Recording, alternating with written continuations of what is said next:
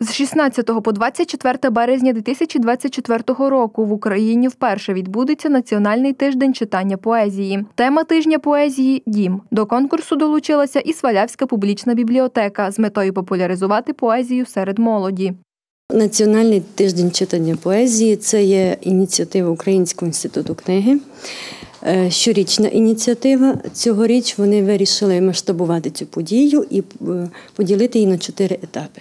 Перший етап це тиждень читання поезії. Він триває з 16 березня по 24 березня. Е, Гаслом Український інститут книги вирішив взяти рядки з сучасної української поетки Ірини Шувалової Ріки незмінно течуть додому. Тиждень поезії є гарною можливістю відзначити роль поетів і поетичного слова в культурі, особливо під час Великої війни, адже поезія як форма літератури реагує на події найпершою. Наша країна зараз переживає такі події. Всі ми знаємо, що таке для нас дім. Багато українців втратило свій дім, багато українців мріють повернутися е, додому. Тобто, дім це для нас щось особливе, таке, що пов'язане із комфортом, із затишком, із захистом нам там безпечно.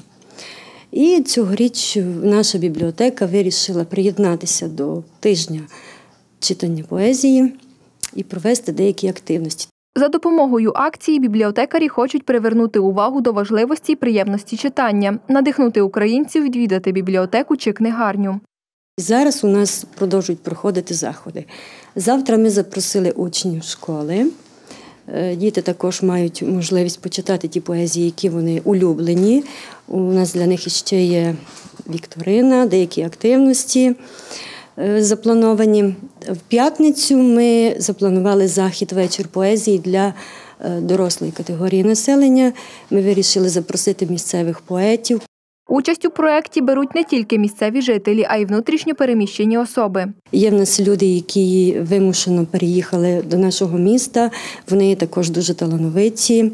Е, пишуть власну поезію. Ми хотіли зібрати всіх в одному місці, щоб вони так почитали, розповіли трошки про себе, представили себе, поспілкувалися, обмінялися думками.